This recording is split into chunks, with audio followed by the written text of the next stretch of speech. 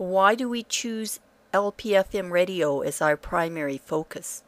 To answer that question, we ask, how does LPFM radio differ from Internet radio? Internet radio production equipment creates digital audio files which are sent to a computer server that sends audio to another computer when someone links to the website. The receiving computer must have compatible software that will play the files. Some of the main areas of difference include bandwidth, constrictions of interconnection, accessibility, and familiarity. To reach a remote computer, the listener, the server where the programming is stored needs to use an online connection between itself and the receiver. The capacity, bandwidth, of this connection is more than what is needed for email or text, and it costs more. The program originator pays for the bandwidth to distribute their audio files, and the more bandwidth they use, the more expensive it is. Once you get past a few listeners, you have to pay for a bigger connection and bigger servers. This can get quite expensive rather quickly if you start to reach a large audience. Because of this cost, most internet stations are ultra specialized and have very small audiences.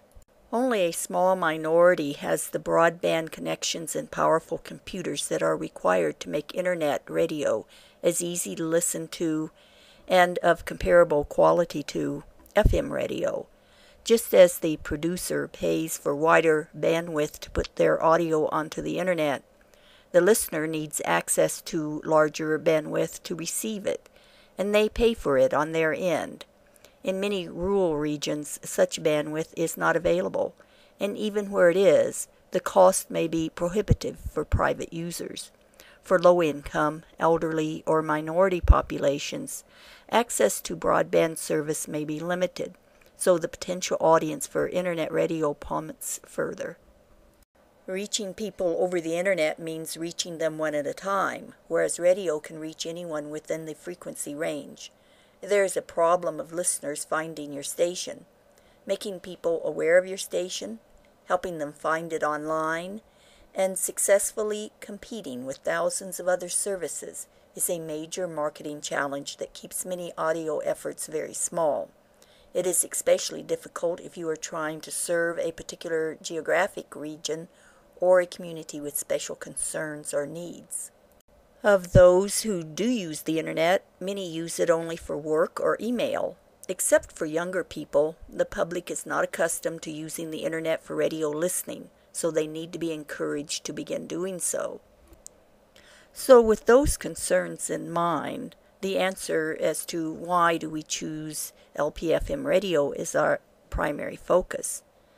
Our aim is more localized, and we plan to create a community targeted media hub in which traditional radio broadcasting will serve our needs better for making a personal one on one connection to spread the desire to participate in productions throughout the community. In our rural community, the radio will serve as a means of distributing the content already being made by local groups, going live to the events to record them.